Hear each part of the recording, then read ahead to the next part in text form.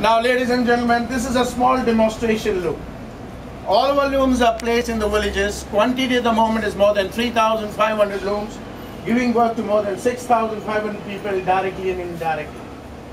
But in the villages, you'll basically see ladies doing knotting, not men. But here we have men because they won't come, go back late night, because you won't come 30, 40 kilometers and go back late night, so men is this. We have given them this design to follow. This is the basic design they are following.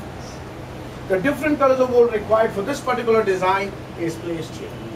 The cotton base in two rows, the skeleton that is called in two rows, one at the back, one in front. Now watch them carefully doing one single knot in a very slow motion. Now Corey, watch him carefully. How he does one single knot in a very slow motion. He takes one color wool in his left hand, pull one string, put the wool inside.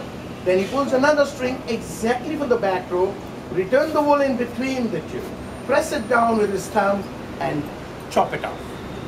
This is one single knot of the Persian style. See it again. He takes one color wool in his left hand, pull one string from the front row, apply the wool in, then pull another string exactly for the back row, return the wool in between the two, press it down and cut. This is one single knot. Corey, have you seen it carefully? Yeah. No, sir, you have not seen it carefully.